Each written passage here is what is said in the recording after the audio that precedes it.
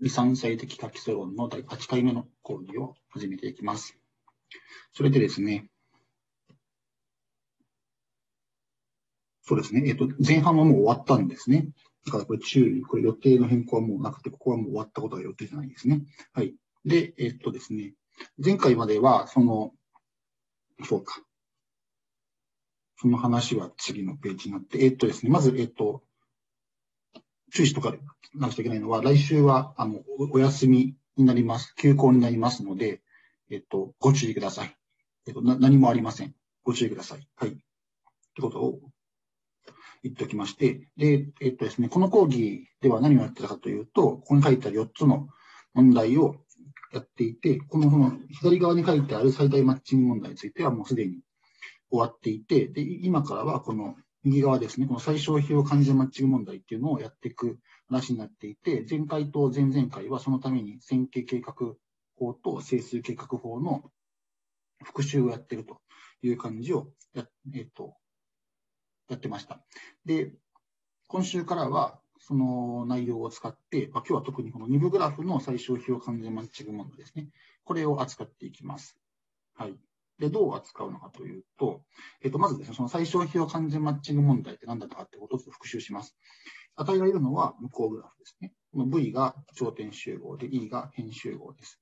で、それに加えて、えっと、皮膚変費用関数ですね。今、あのこの図は、まあ、その、各辺に与えられているその費用っていうのを、その辺の上に書かれた数値として表しています。で、えっと、今、これは、まあ、あの、関数として書いてるんですけども、まあ、これ、あの、ちょっと今後の、えっと、えっと、都合上、えっと、これ、あの、非っていう感じの、今書き順が間違ってたから、もう一度読み直すと、えっと、皮膚変費用ベクトルとなすこともあります。変費用ベクトル。なんか、用っていう感じの基準も違ったような気がするんですけども、あんまり気にせずに、C っていうのは、この、ですね、E という編集語を相違として持つようなベクトルというふうに見なすこともあるので、と同一する。ので、まあ、それは、あの、今後、あの、この二つの見方を、えっと、使っていくことがあります。でそういう入力に対して出力が何かというと、完全マッチングで変費用和が最小のものを一つ例えばこの場合は、完全マッチングだから、どの頂点にもちょうど一つ接続する、辺が接続するように辺を選ぶとですね。だから例えば、これと、で、こういうふうに選ぶと、この場合の辺費用和っていうのは、選ばれた辺の費用和は2プラス1でこれ3になるということが多分次のページに書いてありますね。書いてますね。これは和ですね。3ですね。変表は3です。で、完全マッチング存在しないときには存在しないと出力するということにしておきます。まあ、多くの場合は完全マッチング存在する場合考えますけども、存在しない場合もあるかもしれませんから、そういうときには存在しないと出力するということにします。これが最小費用完全マッチング問題です。はい。で、まあ、これ解きたいって感じなんですね。で、今日の目標は何かっていうと、まあ、その二部グラフの場合に限るんですけども、これを線形計画法として、法として、法、線形計画問題としてですね、ちょっとなんか日本語変だから。線形計画問題として解きます。はい。で、えっ、と、どういうふうにやるかっていうと、えっと、ここに書いてありますけども、まず、その最小費用完全マッチング問題です。今の問題を整数計画問題として定式化します。定式化って何なのかということを説明します。で、その線形計画緩和の性質を調べるということをやります。はい。で、これが、まあ、今日のメイントピックです。ここまでが。で、それに加えて、下の方の話があって、二部グラフの最大マッチングに対する相対定理を線形計画法の視点から捉え直すになります。えっと、二部グラフの最大マッチング問題の時に、えっと、相対定理というのがあって、K にエゲルバルの定理というのがあったんですけども、それは実は線形計画法の相対定理と関係があります。まあ、関係があるというか、まあ、えっと、線形計画法の相対定理を、この2部グラフの最大マッチング問題に適用するってことをします。で、そうすると、実は K にエゲルバルの定理が得られるという形になっています。ので、それを説明します。はい。で、その2つのことをやっていきます。けども、まずは前回の復,、えっと、復習と補足ですね。ちょっとあの補足するべきことがあったと思うので、それを言ってきます。えっと、整数計画問題とその線形計画緩和というのを前回話しました。整数計画問題っていうのは、その線形計画問題の部分に対して各変数が整数ですよ。まあ、特に0と1ですよ。というような制約も加えたような問題でしたね。これが整数計画問題です。で、えっと、今ここに書いてある例だと、この不等式が表す集合。これ、あの、多面体になるってことも言ってたんですけども、前回ね。それがこの黄色い領域で、その中のこの x1 と x2 が0と1にしかならないよというところだけを取ってくるっていうのが整数計画問題で考える許容領域でした。で、そのような点は、この3つの点ですね。まあ、ここになるわけです。で、えっ、と、その中で、この 2x1 プラス x2 っていう関数の値を一番小さくするのがこの赤いところ。っていう形で、まあ、この図は得られているということでしたね。はい。で、一方、そういう問題、整数逆問題があったら、それに対する線形結局緩和と呼ばれるものが作れます。で、それは、まあ、基本的には、この整数制約ですね。その0と1という値しか取らないという制約をなくした問題だと思ってもらえれば良いです。ね、でそうすると、えっと、この場合はこの黄色い凸多面体の上で、この目的関数を一番小さくするのはどこでしょうと。形になって、ここ023と。あ、03分の2という、この場合、この単点ですね。一つ多面体の単点が最適解として得られるという形になるという話でした。で、そうすると、この左の方はですね、成績不問題っていうのは、この3つの点の中から一番小さいところを選ぶっていう感じで、まあ、有限個しか、あの、えっ、と、考えているあの、なんか考える許容領域がその有限個の点でできてるわけですね。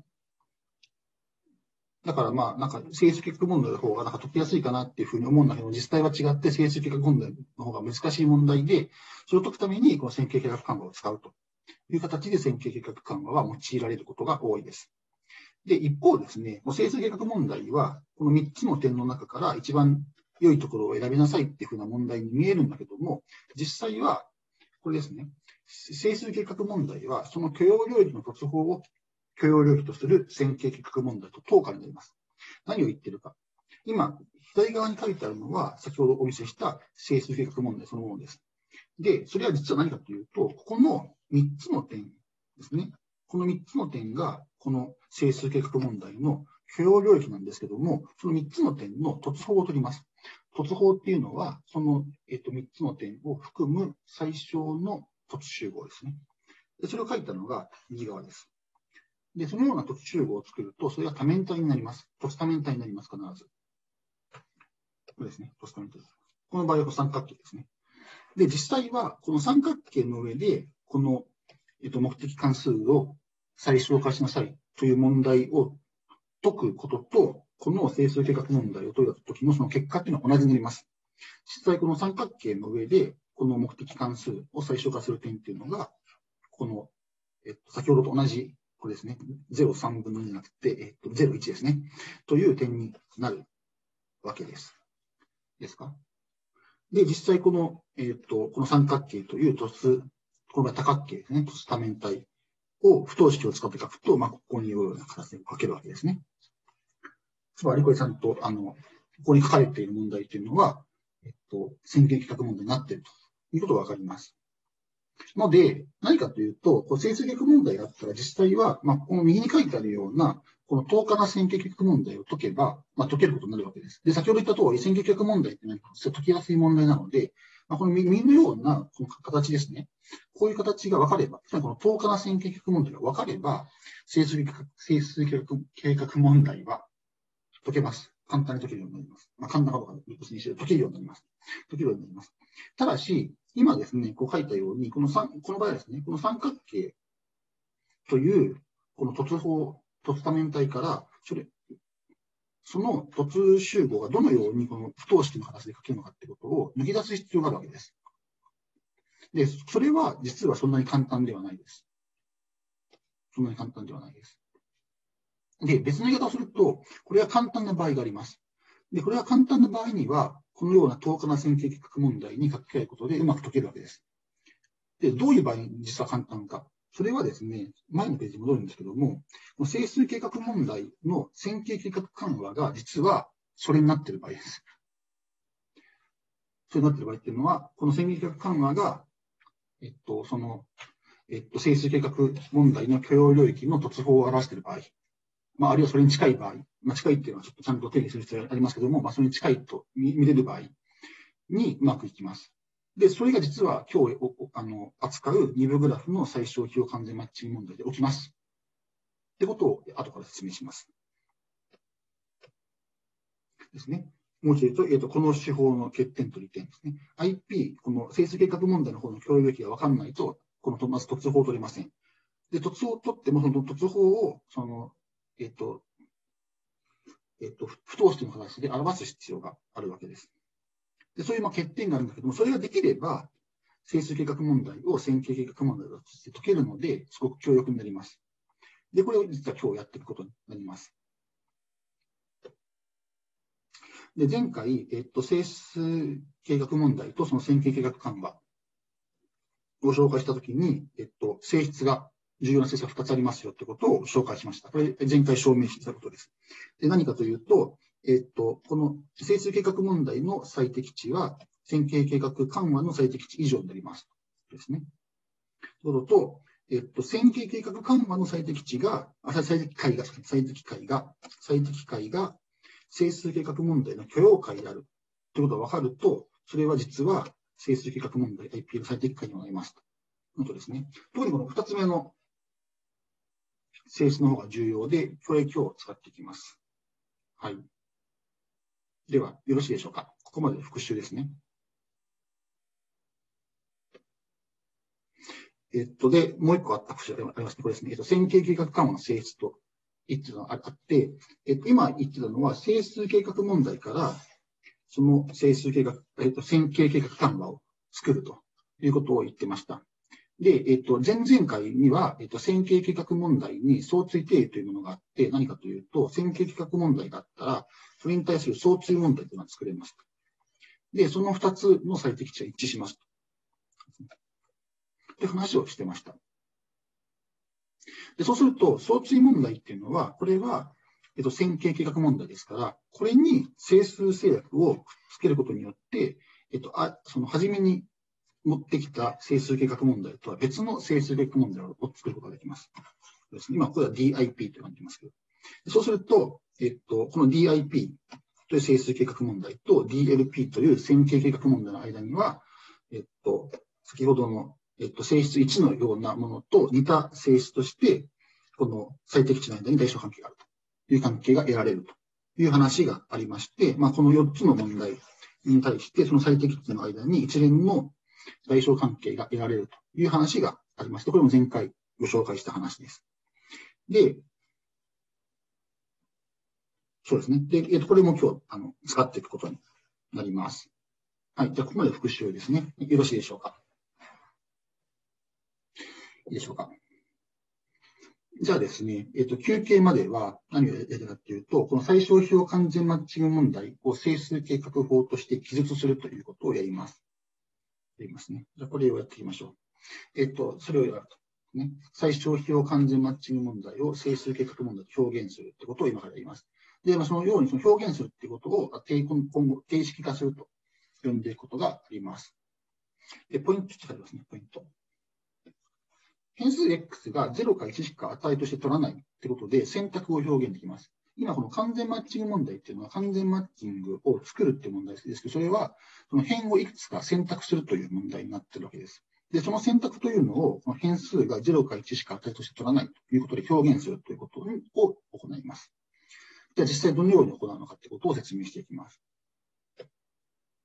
まずですね、その変数として、えっと、えっと、向こうグラフが最小費用完全マッチング問題では与えられるんですけども、その各変 e に対して、えっと、xe という変数を用意します。で、その xe という変数は0か1という値しか取らないとですね。で、この変数は、この問題においてどのように解釈されるのかということが重要で、重要で、でそれをここに書いてあります。何で何かというと、xe が0だったら、その変 e というのを今考えている完全マッチングの変として選択しないとします。で、1だったら選択するというふうにするわけです。いいですか？で、今、下には、これ、例があって、どういう例かっていうと、グラフがあります。で、1、2、3、4という4つ頂点があって、これ、辺が6個あります。で、えっと、完全、最小費用完全マッチング問題を考えるときには、この6個の辺、それぞれに対して変数を用意するということをします。で、今、その6個の変数はここに書いてあります。例えば、この x12 っていうのは、この1と2を結ぶ辺に対応する変数です。いいですか？ちょっと今、線が、そうです x12 ですね。で、x24 っていう変数は、2と4を結ぶ辺に対応する変数です。ということですね。そんな感じで6個変数が置かれているわけです。で、今このグラフにおいて、13という辺と24という辺を選んで完全マッチングを作っています。つまり、えっと、この13という、えっと、辺と24という辺が選ばれた、選択されたということを表すために、この x13 と x24 の値を今と1にしていると。ですね。で、他の変数の値今0です。なぜかというと、その変数に対応する辺が完全マッチングの辺として選ばれていないからですね。つまり、この左側のように作られた完全マッチングから、この010、010っていうその変数に対する割り当てが作れるということになります。まあ、他の例として、例えば、まあ、完全マッチングをね、14と23という辺を作って、あええーと、使って選んだとすると、この値の割り当てっていうのは、えっ、ー、と、001、100と、こんな感じになるということですね。いいでしょうか？そのように、その完全マッチングに選ばれた辺のところを1、選ばれなかったところを0という形にして、その完全マッチング、というかその選んだ辺の集合を01を成分として持つようなベクトルで表すことができるということになります。はい。ただですね、じゃあ、勝手に、その、例えば010101とか、こういうの01ベクトルを作ったら、それが、えっと、買って今作ったんですけど、それが、えっと、必ずしも、えっと、完全マッチに対応するとは限らないわけです。で、この場合はなりません。これなりません。完全マッチに対応しない。じゃあ、どういうふうな、そのベクトル、どういうふうな01の割り当てが完全マッチに対応するのかってことをちゃんと考える必要があるわけです。それは、この整数計画問題において制約として書くわけです。でそれを次に、えー、説明します。制約ですね。完全マッチングの辺は各頂点にちょうど一つだけ接続している。っていうのが、その完全マッチングであるとの定義ですね。なので、これを数式で書きます。で、それを書いたのが、この下のものです。これ何かというと、まずそのすべての頂点 V に対して何かこの式があるという形になります。で、式はどういうものかっていうと、何かを足したら1になりますという形の式です。で、何かというのは何かっていうと、これ XE ってこれ変数ですね。変数足します。で、E は何かというと、これですね。これが重要で、E っていうのはこのデルタ V から取られるというふうにします。で、デルタ V の定義が上にあって、デルタ V は V に接続する辺全体の集合です。例えば、今、下の例だと、1っていう頂点を見ると、1という頂点に接続している辺は3つあります。そういうことですね。で、それは12と13と14という辺です。なので、この左辺ですね、x の和っていうのは、12、13、14という3つの辺に対応する変数の和になります。で、それがイコール1になりますよっていうのがこの制約なわけです。ですか？つまりこれは x1、x1、x12、x13、x14 という3つ変数があるんですけども、そのうちのちょうど1つが1になりますってことをこの式で表すわけです。ですか x12、x13、x14 という変数は0か1という値しか取りませんから、それ足して1になるということは、この3つの変数のうちのどれか1つだけがちょうど1になります。ということを表しています。ですね。この場所の13というのだけが1なんですけども、だからそれで、この1という頂点に接続する辺のちょうど1つが選ばれてますということが書けてるわけです。で、同じものを頂点2、頂点3、頂点4に対して書いてます。ですか？で、これによって、この4つの式を満たすような x12 から x34 という変数への値の割り当てが完全マッチングを表すということになるとということになります。ここまでいいですか？これが分かれば今日半分終わったような感じです。はい、ありがとうございます。で、これが制約になります。で、最後に書かなくちゃいけないのは目的関数で、目的は選ばれた辺の費用の和の最小化です。でそれを書くためには、こう書けばよいと。何かというと、すべての辺に対して、えっと、CE というその辺の費用と XE というその変数の積ですね。それを足してます。それ何かっていうと、この CEXE っていうのは、これは CE が0なんです。XE が1だ ,1 だったらこれは、えっと、CE で、XE が0だったら、これ0になるわけです。つまり、えっと、これは、E が選ばれるですね。E, e が選ばれるときには、この関数に CE という、えっと、費用が足されます。で、E が選ばれないときには、足されるのは0になって、つまりその費用にこの選ばれない辺は影響を与えないということがわかるわけですね。という形で目的関数が正しくこれ書けているということがわかります。はい。ということで、最終的に得られた最小費用完全マッチング問題の整数計画問題のその形式はこのようになります。で、これ今後 IP と呼んでいくことにします。先ほど挙げた目的関数を最小化すると。で、制約は各頂点に対してその頂点に接続している辺の変数の和が1になるですね。あと各変数は0から1の値しか取らないということです。よろしいでしょうか？いいですか？えっと、ここに下に注意がありますね。本来は各辺に対して、えっと、XE が0以上という制約も書くと良いが、書くと良い、ちょっとどういう評価基準かわかりません書くと良いが上昇なので、それ書かなくても問題変わらない。XE が0以上っていうのは、この一番下の0か1の値しか取らないっていう制約から自動的に満たされるので、まあ、ここでは書かないことにしています。なんで書くと良いかっていうと、書くと、この形が今まで書いてきた、その IP という整数比較問題のフォーマットに一致するからです。はい。はい。よろしいでしょうか。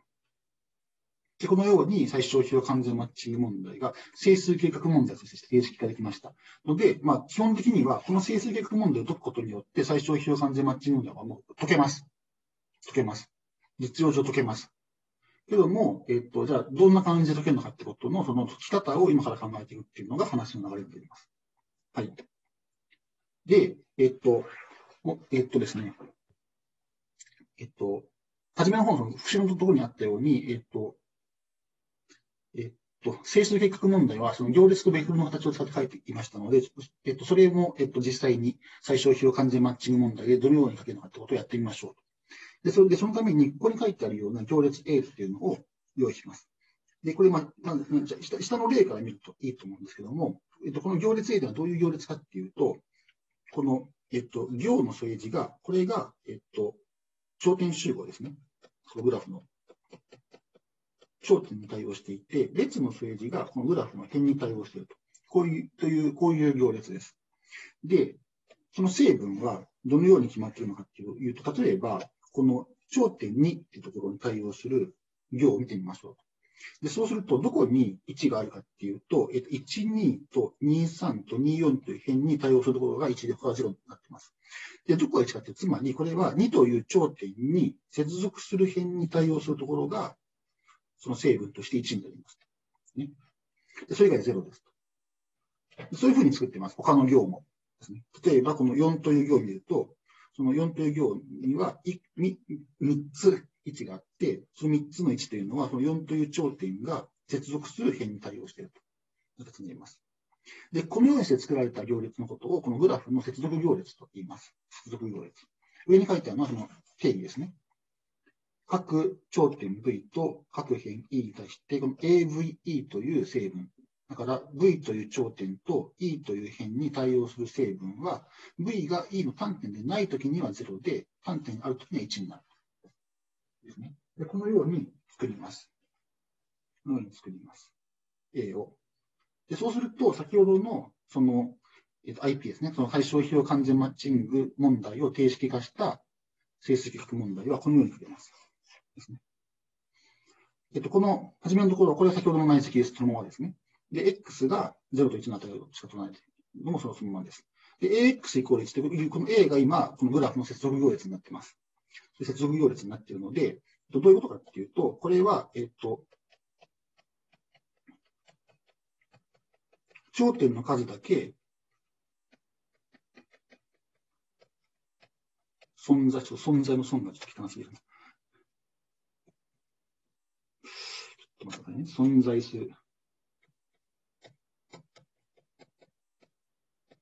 存在する等式を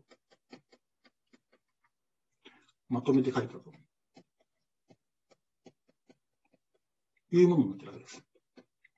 じゃあ実際に、その、じゃあ頂点 V に対応する部分を見てみると、これどんな感じになってるかっていうと、それはこの AX のその V に対応する行だけ見てみると、それはこういうその式になってるはずなわけです。これ、あの、行列の、えっと、定義そのまま書いたわけですね。行列の積の定義をそのまま書いたわけですね。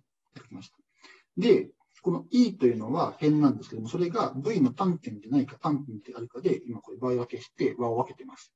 で、和を分けて、単点でないところは、この AVE というのが0になるわけです。先ほどの定義ですね。で単点であるところは、その AVE が1になります。そうすると、この前の方は、この 0×XE の和ですから、これ消えます。これ消えます。消えます。で、後ろの方は、えっと、E が V を単点として持つようなものだけ集めてますから、それは書き換えると E がデルタ V ですね、の要素であることと、まあ、同じだと書けるわけ。同じだと書けます。つまり、えっと、このように、この AX イコール1の大 V 行の先に書きますから、えっと、この AX イコール1っていうのが、先ほど書いていた、えっと、整数計画問題と同じ形になっているということがわかります。ちょっと言い忘れたんですけども、この1っていうのは、これは、えっと、各成分が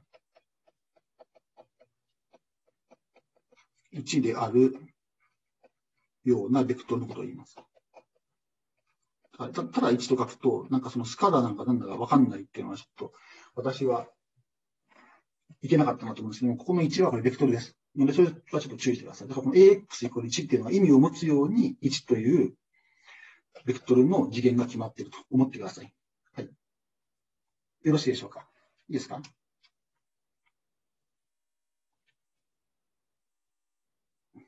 で、まあ、あの、この書き方の方がちょっと短いので、今後この書き方を使っていくこともあるかもしれません。はい。で、注意なんですけども、えっ、と、グラフが完全マッチングを持たないときには、この IP、今作った整数計画問題の共有域は空集合になります。ですか？だからそういう場合には、だからあの、完全マッチング存在しないので、この制約を満たすような XE というのは存在しないわけです。だから共用領域は空になります。で、ちょっと今これ例を挙げてるんですけど、例えばこの123ってこれ完全グラフですね。3頂点あるグラフですけど、これ完全マッチング持ちませんので、この2つの条件を満たすような XE っていうのは存在しないんですね。じゃあ、なんでかってことをちょっと今から説明していきます。じゃあ、存在すると仮定しましょう。評価があると仮定します。仮定すると、それはここに書いてある等式を、えっと、この X に出すわけです。で、この等式何だったかっていうと、各頂点に対して、その頂点に接続する辺の変数の和が1になるということですね。1という頂点に対しては、x12 プラス x13 イコール1という式でできます。で、同じように頂点2、頂点3についてもこれ書きました。許容解 x はこの3つの式を必ず満たすわけです。じゃあ、この3つの式を足すと、ここに書いてあるような式が得られます。何でかっていうと、えっと、この左辺の方は、各変数がちょうど2回ずつ出てきているという形になっています。だから2倍の変数の和なんですね。で、右辺の方はこれ、1、1 1ですが、これ足すと3になります。そうすると、これは、えっと、右辺がこれ奇数なんですね、3という。一方で、左辺の方がこれ必ず偶数になります。何かの2倍だから。何かっていうのは、x1、2、x13、x23 っていうのは、これは全部整数ですから、これ偶数なんですね。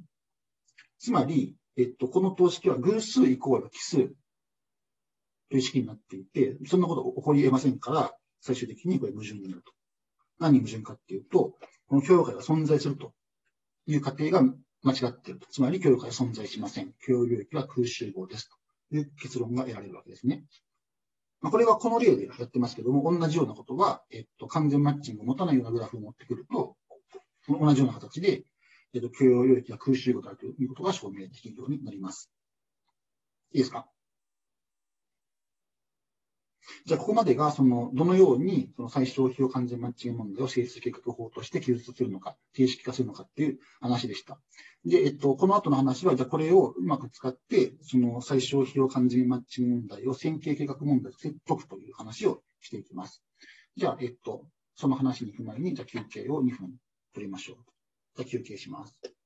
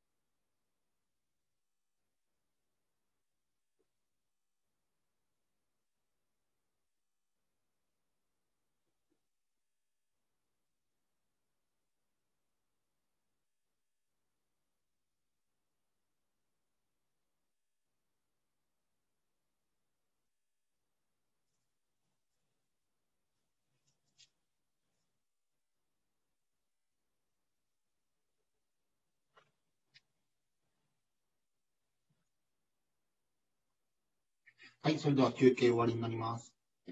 よろしいでしょうか。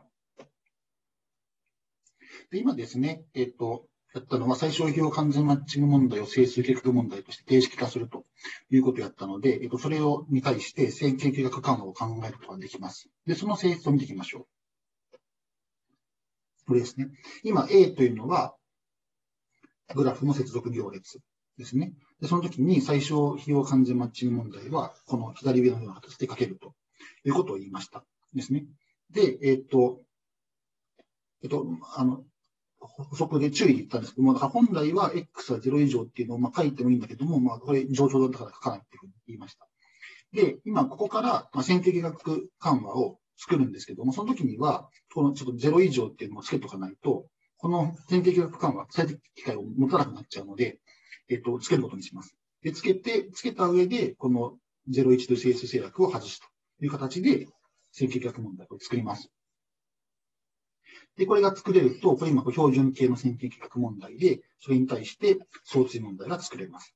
で、相対問題に対して、えっと、整数制約をつけると、この DIP っていうのは作れるという感じになります。で、ちょっと、えっと、補足をしておくと、今この X というのは、もともとこの辺に対応する、えっと、変数だったわけです。で、A というのは、えっと、行の添え字が頂点で、列の添え字が辺という行列でしたから、そこからこの相対問題っていうのを作ると、この今、A 点値 Y っていうのが出てきている形になります。でそうすると、この Y っていうのは何なのかって、これ Y っていうのはこれ変数なんですけども、Y っていうのは、添え字を頂点にするようなベクトルになっています。ですか、それに注意をしてください。で、そうすることによって、この A 点違いっていうのはちゃんと意味を持つという形になります。で、ここにはその辺の数だけ不等式があるという形になっているということですね。よろしいでしょうか。で、こんな形で成績学科も作れます。で、下に書いてあるような次世の不等式が、この最小費用関税マッチングを定式化したところからも得られると。これは一般論から出てくるわけです。でですね、えっと、今これ、その線引学緩和をそのまま書いたんですけども、ここでですね、怖いことが起きまして、先ほどですね、このグラフ、このグラフに対しては、最小費用完全マッチングを定式化した整数計画問題 IP では許容領域が空になると言ったんです。ちょっとここでは、まあ、IP において許容領域は空だと言ったんですけども、この線形計画緩和 LP においては、この許容領域は低になります。LP においては、LP においては許容領域存在します。なんでかっていうと、ここに書いてある通り、この例の場合には、次の、えっと、こうですね。すべての、えっと、変数2分の1っていうのを与えると、これ許容価になります。なんでかっていうと、じゃあちょっと今この2分の1っていうこの値の割り当てを、そのままこのグラフの上に書いちゃいますけども、2分の1。その各、えー、と辺に2分の1っていうのを割り当てるんですね。で、そうすると、どの頂点を見ても、その頂点の周りにある辺に割り当てられた値の和がちょうど1になります。だからこの等式を満たすわけです。なおかつその値0以上です。ですか？だから、この2分の1、2分の1、2分の1っていうふうに各辺に値を割り当てると、それは、この LP、整数見学緩和の許容解になります。ですか？もともとの IP においては許容解なかったんだけども、線形学緩和にしちゃうと許容解出てきちゃうということがあり得ます。まあ、そういうのが、それを今、これ現象をお伝えするんですね。これいいですか？しかしですね、これですね。あ、だから、何を言ってるかっていうと、えっ、ー、と、えっ、ー、と、IP、その元々の整数計画問題は、表領域が空だから、その整数計画問題を解くことによって、えっ、ー、と、出てくる答えっていうのは存在しない、完全マッチが存在しないっていう答えが出てくるはずなのに、この LP を解いちゃうと、全くわけのわかんない、こういうベクトルっていうのが解として出てくる可能性があるわけです。つまり、LP を解くことで、そのままこの IP っていうのは解けることにはならないんですね。っていうことが、まあ、この例からわかります。で、一方で、何かというと、二部グラフだったら、実は LP を解くことで IP が解けるってことがわかります。っていうことを今から証明します。何かというと、これですね、定理。えっと、G が二部グラフだったら、LP の最適解で IP の評価となるものが必ず存在します。二部グラフだったら。先ほどの例は二部グラフじゃありません。これですね。これ2部グラフじゃありません。けども、2部グラフだったら、LP の最適化、その整数計画問題を、から作られた整数、あ線形計画緩和の最適解で、元々の問題の強化というのが必ず存在します。で、先ほどのですね、この、こう整数ですね、整数の2番目を見ると、何を言ってるかっていうと、そのようなその LP の最適解で IP の強化となるものを持ってきましょう。そうすると、この2番目のえっと、性質のこの前提条件、それを満たすわけです。満たすので、そのような LP の最適解っていうのは必ず IP の最適解になります。という形で、LP の最適解で IP の強化となるのは存在するので、そこからこの IP が解けるという仕組みが出てきます。ですかで、今からお見せする証明っていうのは実は LP の最適解が1個あったら、そこから IP の境界を作るというアルゴリズムにもなっています。ので、何がわかるかっていうと、この先ほどの LP ですね、線線形計画緩和。これを解いて最適解を得ます。で、その最適解をゴニャゴニャゴニャと すると、そこから IP の最適解が作れるということがわかります。ので、そのことによって、この LP を解くことで IP が解けるということがわかります。でそれを今からやっていきます。で、今からやるのはこの経緯の証明です。話の流れはいいですか？で、これをやっていきます。で、これが今日のメインテーマになります。定理としては、定理としてはメインテーマになります。じゃあ、それをやっていきましょうと。証明の指針ですね。アイデアというか指針。えっと、LP の最適解 X スターを考えます。LP の、LP って先ほどの線形計画緩和ですね。で、これが、もうそもそも、その、すべての成分0か1だったら、それは IP の境界だから証明終わります。で、そうじゃないってことは、この X スターの成分の中に0でも1でもないところがなんかあるわけですね。で、そういうのを全部持ってきます。それ E プライムとします。何かというと、XE スターが0でも1でもないような E という辺を全部持ってきて E プライムとします。で、この E プライムというのは、これは辺の集合なんですけども、この E プライムというのがどういう性質を持っているのかってことをじーっと眺めます。で、そこで2部グラフであるという性質を使います。はい。じゃあ、証明やっていきましょう。今の流れで、あ、しまった。記号を変えたんだった。しまった。これは E プライムじゃなくて、これ E 丸ですね。すみません。E 丸です。すみません。後で記号を変えたのに、直すの忘れました。すみません。E 丸です。はい。で、これは今、で、えっと、じゃあ証明やっていきます。LP の最適解一つ持ってきます。X スタートします。ですね。で、えっと、E 丸と言ったら、その XE スターが0でも1でもないような変 E を全部集めて集合します。で今、えっと、ここにこう、下にこう例があるんですけども、まあ、これは今、えっと、各辺、まずこれは2部グラフです。2部グラフです。で、えっと、各辺の上に載っているこの値っていうのが、この X スターによって割り当てられている各辺に対する値だと思ってください。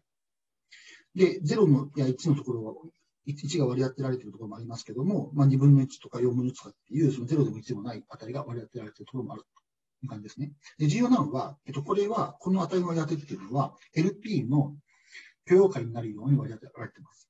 つまり、どの頂点の周りの辺の値を足してもちょうど1になっています。ですね。今書いたところ、ここですね。ここについては2分の1足す2分の1足す0だからこれちゃんと1になってますね。和が。ここ、この頂点も2分の1足す4分の1足す4分の1足す0だから和は1になっています。いいですか？だからここに書かれている値の割り当て、辺に対する値の割り当てというのは LP の許容解になってます。ですか？で、そこで、ここに書いてある E 丸という変集を作ります。で、今この青くしてますけども、この青いのが E 丸という、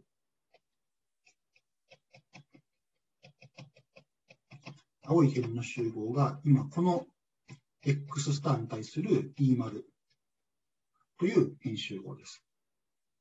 このイコールが E 丸です。ですか？で、もしこの E 丸っていう、E 丸っていう、E 丸という、えっと、集合は空集合だったら、つまり、この値の割り当てが、えっと、どこ見ても0と1しかないことになります。で、そうなってると、この X スターっていうのは IP の境界なので、証明終わるわけです。何も証明することはありません。ということになります。つまり証明可能ですね。じゃあ、そうではないと仮定しましょう。E 丸が空集合ではないとします。まあ、このように、その青い辺として選ばれているところがいくつかあるとします。でそうすると、LP の制約がありますね。X スターイコール1。つまり、どの頂点を見ても、そこに、えっと、そその頂点に接続する辺の値の和が、えっと、ちょうど1であるという制約があるわけです。で、そうすると、例えば、このうちの一つの辺に、えっと、0でも1でもない値っていうのが割り当てられたとしましょう。まあ、た例えばその、この例のように2分の1というのが割り当てられたとしましょう。じゃあ、2分の1と書きましょうかね。2分の1が割り当てられているとしましょうと。そうすると、その、変数の値を足したら和が1になるというふうに言ってるんだから、どっかに2分の1があったら、たら、その、他全部が0ってことはありえないわけです。足したら1にならないから。だから2分の1はどっか1箇所にあったら、ある他他の辺の値、えっ、ー、と、値も必ず、えっ、ー、と、0、1以外になってないといけないっていうところは必ず1箇所あります。この例だと、この頂点見ると2分の1という辺があったら別のところにも2分の1という辺があるということになっているわけです。つまり、これですね。その頂点に接続する E 丸の辺の数は1であることはありえません。0か2以上です。0とはここら辺ですね。ここら辺の頂点はえっと、その E 丸の辺が0個しか接続しないんだけども、1個あったら、もう1個必ずなくてきますね。2以上です。そうすると、こう2個あったら、じゃあこの隣の頂点、じゃあ見てみましょう。そうすると、じゃあここにもう1個辺があったら、またもう1個必ず辺がある必要があるわけですね。まあ、3つ以上あるかもしれませんけども、必ず1個あるわけです。別のものが。で、これ辿っていくと、これ必ず、経路ができるわけです。経路ができます。でそのこの経路を見てみると、どういうことが起こるかっていうと、このグラフはリブグラフなので、この経路の長さは必ず偶数になります。今ここでは、えっと、5個の辺を持つような、えっと、経路を作ってしまいましたけれども、これはニブグラフでは起きえないわけです。その A、B、A、B、A とかって感じになって、その A と A の間に辺が結ばれちゃうとなっちゃうから、えっと、ニブグラフではこの奇数帳の経路っていうのは作れません。だから必ず経路があったら、それは必ず偶数帳になってます。この例もそうですね。この経路の長さは、えっと、8、ここ4ですね。そんな感じになってますね。まあ、これも経路ですね。10かな長さは。1、2、3、4、5、6、7、8、9、10。あ、12です。だから、ここの、この経路の長さは10なんですね。10です。すみません。はい。って感じで、どの経路の長さも偶数になっています。二部グラフだから。二部グラフだからですね。これ、これ、あの、二部グラフだっていう説はここだけです。偶数の長さになっています。で、その偶数一応の経路を一つ選んで C とします。C とします。まあ、これは C ですね。これ C です。これ C とします。で、これ何をするかっていうと、これ偶数、長さ偶数ですから、えっと、辺を交互に選んでくると、ちょうどあの同じ数だけの辺を選ぶことができます。で、その辺を選んで、えっと、この C という経路の、えっと、辺集合を2つに分割します。で、それを C1、C2 します。今、色ついてますけども、この、なんだろうな、えっと、紫の方が C1 の辺ですね。で、青い方が C の辺だと思ってください。で、こういうふうにします。で、ここで何をするかっていうと、今、この辺の上に割り当てられてる値っていうのは、0でも1でもないわけです。ですね。0でも1でもない値が割り当てられています。で、それに対して、新しいベクトルっていうのを作るというふうにします。うん。で、これはちょっと間違っていて、だいぶ間違ってるけど、ちょっとな、な星がついてないですね。で、今、ここでつけるのは、次のページつけます。えっと、どうするかっていうと、この経路を見て、新しいベクトル x プライムと x2 プライムっていうのを作るんですけども、どうやって作るかっていうと、先ほどのその最適解であった x 星があるんですけども、この x プライムの方は、えっと、C1 に入っている辺に対しては、イプシロンだけ値を大きくします。で、C2 に入っている辺については、イプシロンだけ値を小さくします。ただし、イプシロンっていうのは、すごく小さな正の値ですって、それは書いてないですね。イプシロンっていうのは、正で、すごく小さい。と思ってください。で、えー、っと、この図では何をやってるかっていうと、この、もともと、この一番左に書いてある図は、x スターっていうベクトルにおける各辺に対する値の割合と書いてるんだけども、この真ん中の図がこれ x プライム。で、右の図が x2 プライムになります。で、x2 プライムにおいては C1 における辺の値をイプシロンだけ小さくして、C2 の辺の値をイプシロンだけ大きくします。で、そのような状況がここに書いてあります。いいですか？わかりますか？他の部分変えません。ちょっと x プライムがいいでしょうかで、そうすると何がわかるかっていうと、x プライムと x2 プライムを足すと、x スターの2倍が得られます。ので、今言ったことは何かっていうと、x スターの2倍が x プライムプラス x2 プライムになります。こうなります。だから、えっと、この式に C との内式を取ったものっていうのも、えっと、そのままイコールで出てくるわけですね。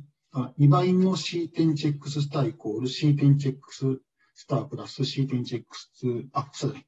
X プライムプラス C 点チェックス2プライムになります。ですか？で、重要なのは何かっていうと、このイプシロン小さかったので、このイプシロン小さいので、このように、えっと、x プライムと x2 プライムを作っても、それは LP の境界です。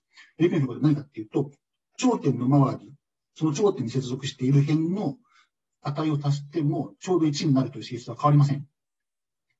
それは、この経路が偶数帳であって、えっと、プラスイプシロンする、マイナスイプシロンする、プラスイプシロンする、マイナスイプシロンするっていう辺が交互に現れてるからです。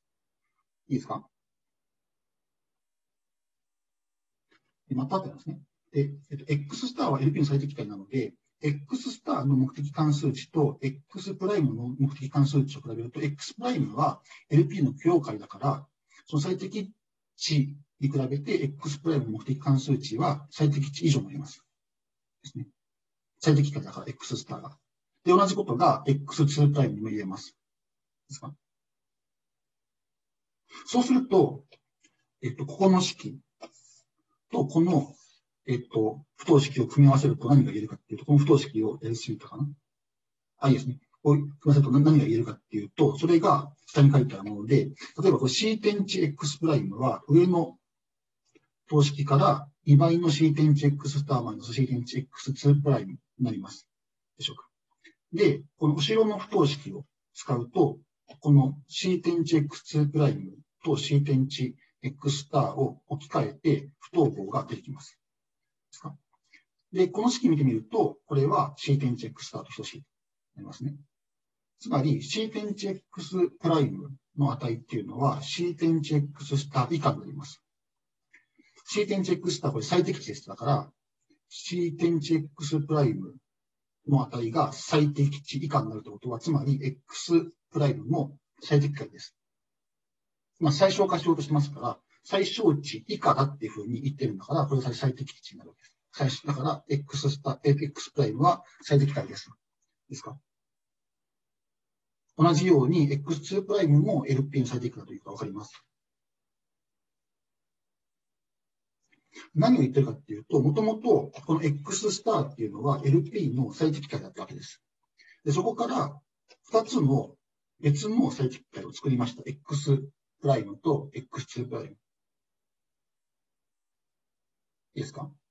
で、今、イプシロンっていうのはすごく小さな正の数だって言ったんだけども、この正の数をちょっとずつ大きくしていきます。で、大きくしていって、どうするかっていうと、あ、これですね。X スターと X2、あ、X プライムと X2 プライムが LP の強化であるという条件を満たしたまま、イプシロンを大きくします。今、この図ですね。この図、今、もともとのイプシロンです。で、えっと、だから、例えばこれ、イプシロンを大き大きくしていくと、これ4分の1からだんだんこれ、小さくなるんだけども、えっと、0まではできます。0までできます。で、じゃあ0にしましょうと。そしたらこの、これですね。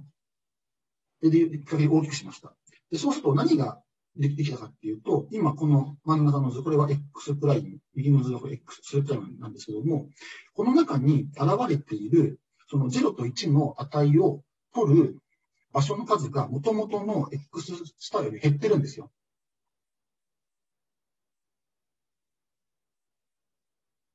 いいですか ?X、えっ、と、どちらかは必ず減ります。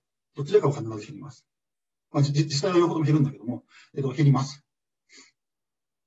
ので、じゃあ、X プライムを持ってきて同じことを繰り返しましょうと。何かっていうと、X、これ今 X プ、ですね？これは X プライムかな？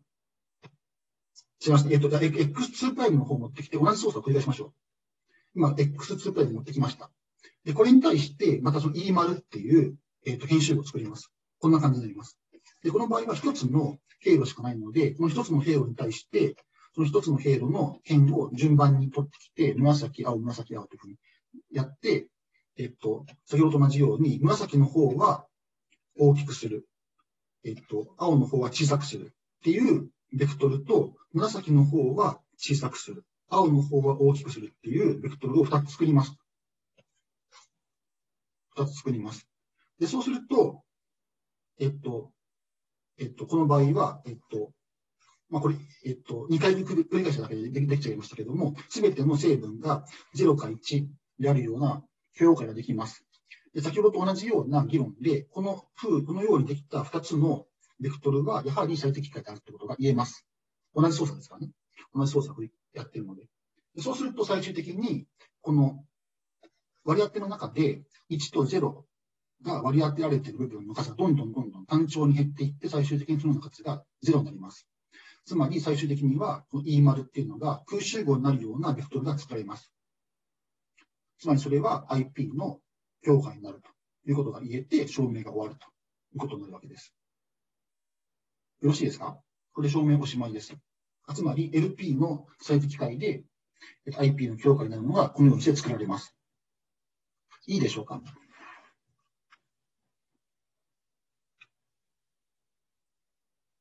これ割と重要な証明で、これは分かってほしいんですけど、いいですか？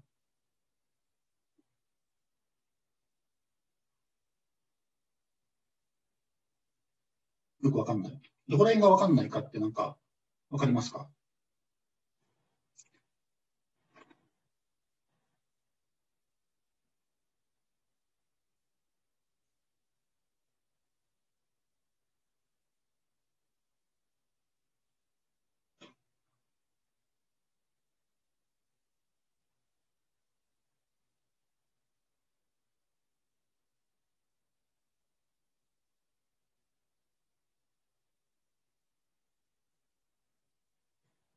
あじゃちょっとじゃイメイメージ図を書いてますね。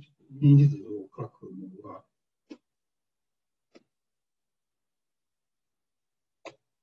イメージ図書いてみますね。どんな感じかっていうと、えっと、はじめにその X スターっていうその LP の最適解が、最適解、最適、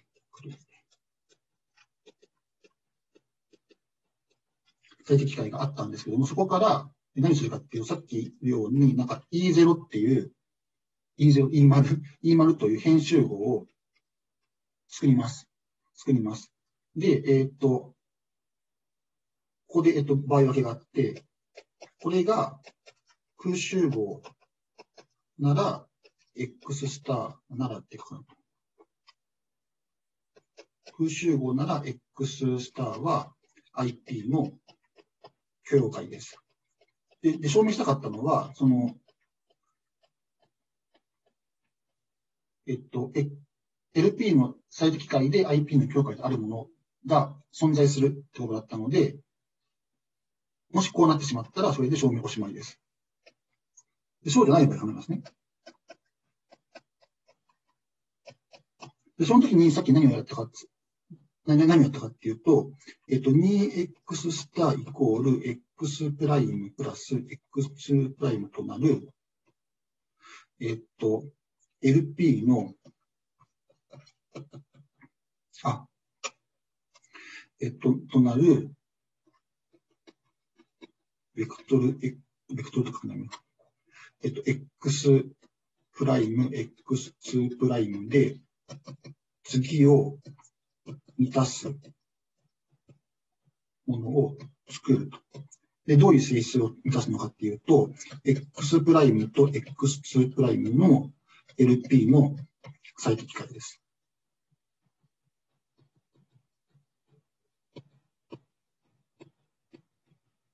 最適解です。で、なおかつ、えっと、x プライムから作られる、じゃその E 丸プライムのようなものと、x2 プライムから作られる e 丸2プライムに対して、えっと、e 丸プライムの要素数が e 丸の要素数未満になっているか、または e 丸2プライムが e 丸要素数未満になっているかということを満たすものを作るということをします。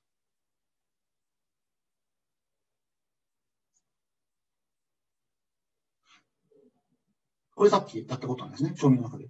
で、えっと、例えば、これ、オアなんで、まあ実際これ両方とも成り立つんだけども、えっと、今の証明ではオアしかやってなくて、じゃあ例えばこっち側が何としましょう？えっと、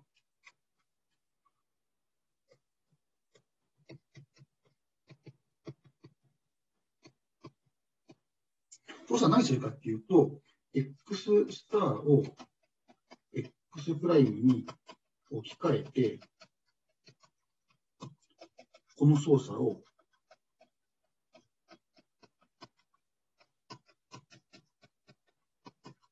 繰り返すということをします。おそうそうここに戻るわけですね。x スター。で、なんでかっていうと、x プライムは LP の最適解だから、LP の最適解であるってことをそのまま満たしたまま、こう始められます。ですね。そうすると何が起こるかっていうと、またこういうことが、あとずっと起きてきて、またこれがこう繰り返すという、こういうことになるわけです。だからこれは反復が起きます。で、反復が起きて何が起こるかっていうと、この E 丸っていう、えっ、と、集合の予素数はどんどんどんどん減っていくわけです。減っていくんで、最終的に必ず、えっと、空集合になります。だからこのこのプロセスを繰り返していって、最終的には E 丸っていう集合が空集合になって、その時の X スターが IP の境界となって証明が終わるということを言ってるわけですね。だから今、この証明では実はアルゴリズムを与えていて、どういうアルゴリズムかっていうと、LP の最適解を与えたら、そこから IP、えっ、ー、と、IP の境界であるような LP の最適解を作るという手続きを与えているわけです。で、それをもって証明をしたということになっています。どうでしょう？これで分かりやすくなりました？なんか分かりやすくなった気が全然しないんですけども。いいでしょうか？ですので、そのなんかその偶数帳の経路を取ってイプシロンがとかって言ってるのは、この、この条件を満たすものをどのように作っているのかっていう話になっています。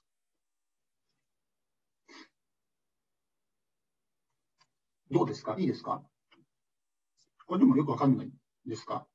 これでもっていいぐらいで、これの方がよくわかんないですかね？なんか、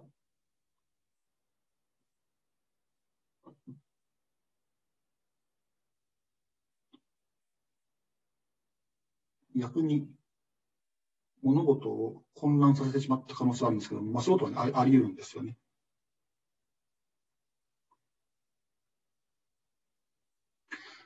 じゃあちょっと後であの皆さんあの自分で考えてみてください。で、わかんなかったらまた質問してください。はい。で、えっ、ー、と、ここまでのまとめっていうのがありますね。今、2部グラフだったら何が起こったかっていうと、実際この LP の、えっ、ー、と最適解で IP の境界であるものが存在するって言ってるんで、この LP の、えっ、ー、と最適値と IP の最適値とこれ一致するわけです。これですね。つまり LP を解けば IP が解けるという形になって、で、これで、例えばその皆さんは、この2部グラフの完全、最小表完全マッチング問題を解こうと思って、例えば、それ場を使うわけですね。それ場を使おうと思ったら、整数計画問題を解こうと思ってそれ場に入れるのと、整数計画、え線計画問題を解こうと思ってそれ場に入れるのでは、解ける速さが全然違います。解くためにかかる時間が全然違います。だからそれだけでもも恩恵があります。恩恵があります。ただ、それよりももっとあの簡単に解く方法というのがあるので、それを次回紹介すると思います。これは次回の予告ですね。次回は何をするかっていうと、この線形学緩和をうまく解く手法っていうのを、えっと、ご紹介します。でその時に、えっと、使う手法っていうのが、出張追法と呼ばれるもので、ここでは、えっと、前々回やったような相補性定理とか、相対性とかっていうのをうまく使っていきます。っていうのが話の流れになります。で、これが次回の内容です。いいでしょうか？で、今日やる話の前半がここまでって感じになります。はい。で、えっ、と、もう一つやりたいのは、えっ、と、二部グラフの最大マッチング問題と、えっ、と、整数計画問題とか、相対性がどう関わっているのかという話をします。えっとですね、今やったのは最小費用完全マッチング問題なんですけども、同じような形で最大マッチング問題も整数計画問題として定式化できます。それを書きました。で、最大マッチング問題は何だったかっていうと、マッチングを作るときにできるだけ辺の数を多くしたいということですね。だから、先ほどと同じように、XA という、えっと、変数が、その変 E をマッチングの変として選択するかしないかとという形を表すとします。そうすると選ばれた辺の数というのが、この XE の和として表されます。それを最大化したいので、ここにマキシマイズが書いてあります。で、XE というのは各辺に対して0か1の値を取るということになっているわけです。で、問題となるのは、ここに書かれている制約なんですけど、これは何を表しているかというと、XE というもののはですね、ここにデルタ V がありますから、その V という頂点に接続している辺の集合っていうのは、これがデルタ V でしたね。デルタ V です。で、そのような辺をいくつか選択するんだけども、その選択された辺の数が1以下ですよという制約がついている。えっと、今これ考えているのは完全マッチングじゃなくて、ただのマッチングなので、ちょうど一つ選ばれている必要はなくて、ただし選ばれている辺の数が 2, を2以上になってはいけないわけですね。だから1以下であるということが、この問題では制約として書かれているということになります。で、これで最大最大マッチング問題が整数計画問題と設定式ができたという形になります。ここまでいいですか？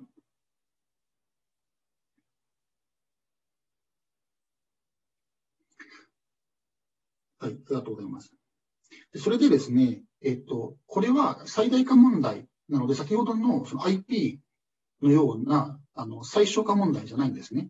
だからちょっと、あの、あの後の、後の都合を考えて、これはあと DIP と書くことにします。でしかも先ほどの DIP と違うので、ちょっとあの、このプライムをつけることにします。で、そうすると、えっと、この話から、えっと、逆向きに辿っていくことで IP に匹敵するものが作れるようになります。ので、じゃあその流れをまず見てみましょう。あ、で、すみません。すみません。その前に、まず行列を使って書いてますね。えっと、行列を使って書くと同じようにこんな感じで書きます。これ AX になりますね。はい。で、この1っていうのは、また先ほどと同じように、えっと、すべての成分が1であるようなベクトルです。ベクトルです。はい。で、まあ、それ今ここに書きました。DIP からですね。で、えっ、ー、と、ここから、えっ、ー、と、えっ、ー、と、線形計画緩和を作ると、DLP プライムっていうものができるんですけども、これですね。えっ、と、これ先ほどの、あの、最小費用完全マッチングモデルの時と同じように、この X が0以上っていうのをこれ、あの、つけることにします。ちょっとこれつけとかないと、また後で、あの、都合が悪いのとかつけることにします。つけます。これは都合ですね。これ都合が悪いのでつけることにします。で、えっ、と、この DLP プライムという問題を相対問題として持つような元の線形計画問題を書くことができます。これ前々回にですね、あの、線形計画問題の別の形っていうのをああの最後の方にやって、で、そのちょっと難しい形があったんですけども、それを使うと、ここの上に対応するものっていうのは何なのかということがわかります。で、それを使うと、まあ、こんな形で書けるということがわかります。ですね。えっと、変数は y ですね。ちょっとその変数として使う記号が何なのかということがだんだんずれてくるのでいきませんけども、それを使うと、これが、えっと、この DLP プライムと、えっと、相対問題だと関係があるという形で出てきます。はい。で、これはその、えっと、相対問題の作り方のところを見てもらうと、これが出るということがわかります。で、これに、えっと、整数制約をつけると、これが出てくるということが形になって、それでなんか、あの、IP プライムという整数計画問題が得られるという形になります。でそうすると、その整数計画法の一般論から、この最適値に対するこういう不等式が出てくるということがわかるわけですね。で、この流れをですね、流れの、まあ、この最終的な、この縦のところですね、この整数計画問題になっているところをじっと見てほしいんですけども、この DIP プライム、これは最大マッチング問題でした。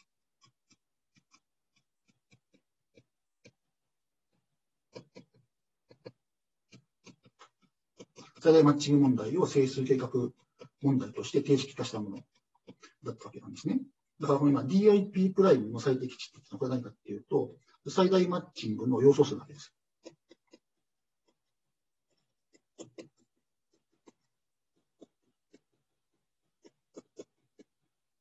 いいですか？で、一方で、この流れで作ってきた IP プライムという整数計画問題があって、これ何かっていうと、これもやっぱり何かを選んでるんですね。これ Y っていうのはこれ頂点を選んでます。で、頂点を選んでて、何か最小化してて、それはなんか制約があって選んでる。ってことは、このなんか IP プライムっていうのも何かこの頂点を選ぶような最適化問題になってるはずなんですね。を表現してるはずなんですね。じゃあこれ実態、一体じゃあ何を表現してるんでしょうかっていうことを今から気にしたい。ってことを残りの10分ぐらいでやりたいんですけど、流れはいいですか？この IP プライム設定これ一体何なんでしょうと。と、これを考えます。で、これが K にヘルバリの定理と対応しているっていう話をします。今、その IP プライムっていうのをここに持ってきました。書きました。ですね。えっと、この目的関数は、これは、えっと、y という、えっと、ベクトルの成分を全部足してるわけですから、これは、まあ、書き方は、これと同じことですね。yv と。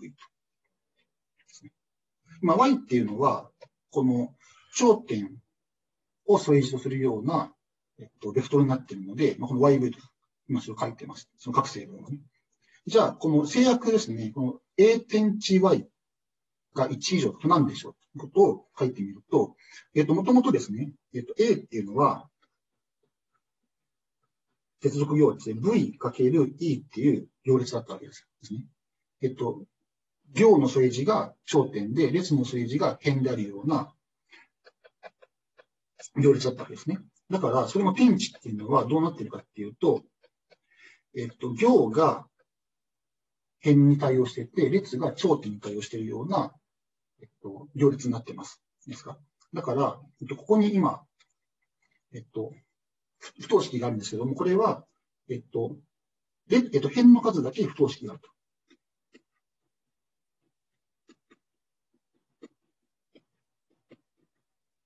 その不等式をまとめて一つに書いているというのが、この a 点値 y 大なりイコール1という式ですね。じゃあ、その各辺の不等式を実際に見てみるために、その変 E に対応する行を見てみましょうと。この制約の変 E に対応する行の先を見てみましょうと。A 点違いですね。でそうすると、それは、えっ、ー、と、YV と AVE の積の和になってるわけです。いいですか？で、V に関する和を取っていると。ですね。でそうすると、この接続行列の定義から AVE っていうのは、0であるか1であるかのどちらかであって、0であるときには、この V は E の観点ではないとことになりますし、それが1のときには V が E の観点であるという形になるわけです。そうすると、この 0V、YV っていうのは必ず0であって、それ足しても0ですから、この前の項、えっ、ー、と、項っていうのはこれ消えます。で消えて残ったところだけ見ると、これは、これですね。V が E の単点であるような V だけを取ってきてるわけです。で、それで YV を足しています。今、E っていう辺があったら、その観点っていうのは、もともとこれ2つしかありません。だから V が E の単点であるような V っていうのは 2, つしかなくて、で、例えばそれが、どうしようかな、X と Y、X と Y はまずい。えっと、文字が足りないな。文字が足りない。それが、例えば U と U' だったら、この和っていうのは、yu プラス yu プライムとこう書けるわけです。いいですか？u, u プライムが e の単点であると。するとこうなります。ですか？で、これが1以上だって書いてるのが、この制約です。つまり、この IP プライムっていう整数計画問題はどういう問題かっていうと、頂点をできるだけ、あ、頂点を選ぶんだけども、その選ばれる数はできるだけ少なくしなさいと。で、少なくするんだけども、どういう制約があるかっていうと、どの辺に対しても、その U と U プライムのうちの必ず、えっと、少なくとも一方は選びなさい。1以上ですからね。少なくとも一方は選びなさいっていう、そういう制約を書いてるわけです。つまり、これは、最小頂点起伏問題です。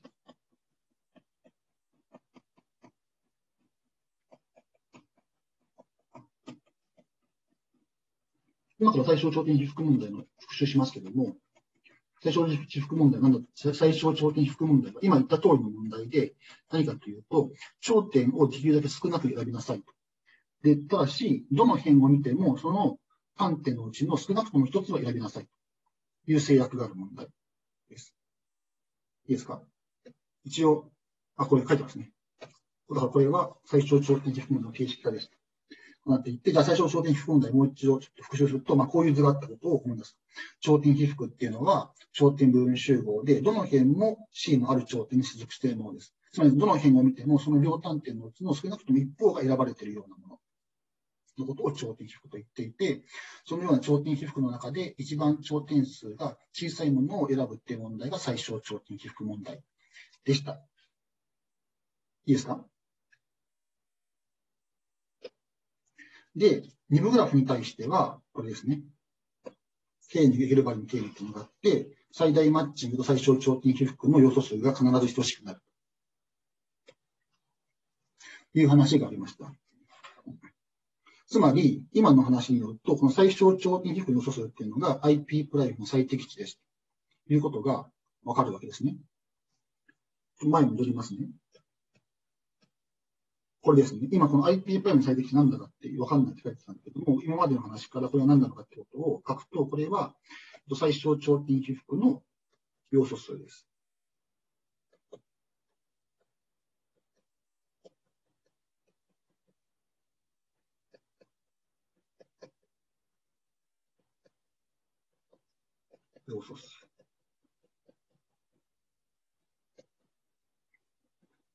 で、二部グラフの場合には、この最大マッチング要素数と最小頂点被覆の要素数が一致しますというのが K にゲルバーの定理として、2回目かな ?2 回目の講義の時に紹介したものになりますね。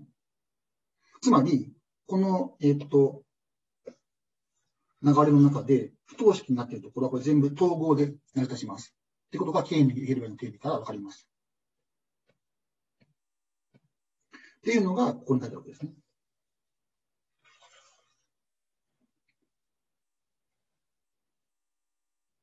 つまり何かというと、実は、この最大マッチング問題を定式化した、この、えっ、ー、と、DIP プライムっていう整数計画問題と、その線形計画緩和である DLP プライムの最適値は一致します。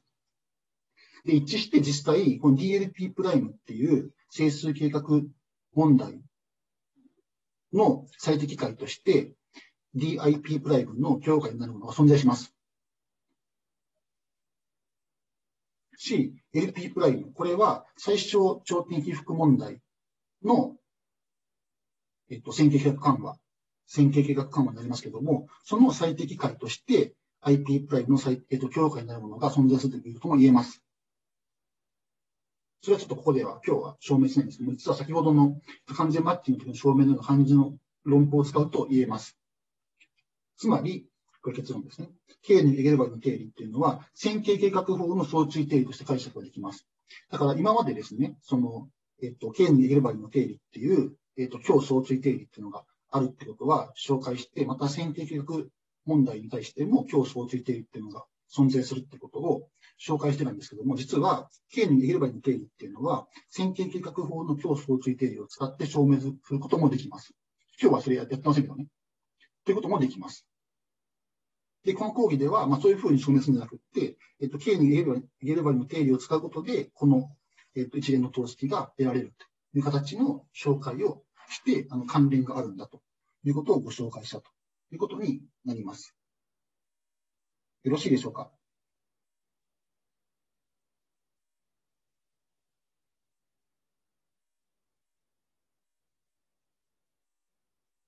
本来は、本来は、その、どのようにして、その LP プライムの最適解で IP プライムの、えっと、評価になるものが得られるのかとかいうこともやると、まあ、この講義としては完成度高くなるんですけども、そこまで時間がないので、それはちょっと、えっと、ここで省略します。まあ、実はそんなに難しくないですけども、そんなに難しくないと言っても、やっぱり10分とか15分ぐらいかかるので、ちょっとここでは紹介するのはやめようと思います。はい。じゃあ、えっ、と、これで今日は講義としてはおしまいで、えっ、と、先ほどの自己自身予告ありましたけども、何をするかっていうと、この前半の部分ですね。その、二部グラフの最小費用完全マッチング問題は線形計画法として解けるということはやって、だからその線形計画ソルバーとかを使ってもう実際に解けます。けども、それを使わずにもう少しなんか、その、この授業の3回目にやったような、その増加動法のような形で解けないかってことをやります。それが次回の話になって、そこでは、その手相追法という手法を紹介します。で、そこでは、相対、えっと、相対性とか相補性定理といったような、その線形計画問題で重要な、えっと、考え方を使います。で、割とその、なんだろう、例えばその線形計画問題を解くようなソルバーを自分で作るっていうのは大変なんですね。これ非常に大変です。あの、私考えたくない。大変です。けども、この、あの、二部、この思想追法、これはですね、多分、あの、皆さんの実装できるぐらい。だから今、言い方がすごく失礼ですね。えっ、ー、と、私でも実装できるぐらいの、あの、ものものになりますので、まあ、そういう意味で、その、だから、だから手元にする場がなくても、まあ、これだったら実装していいかなとかっていう形になるかもしれませんし、もう一つ重要なのは、えっと、これは私自身、ちゃんと確かめてないですけども、このような、その、特別なアルゴリズムを使って解く方が高速に解けるってことがあります。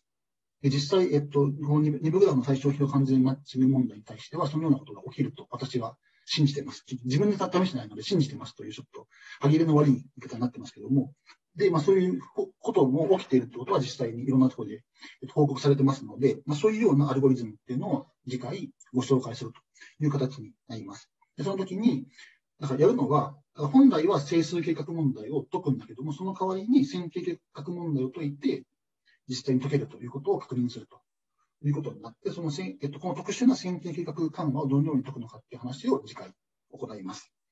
という流れになります。はい。えっと、初めに言ったんですけど来週はあの授業はありませんので、それは注意してください。はい。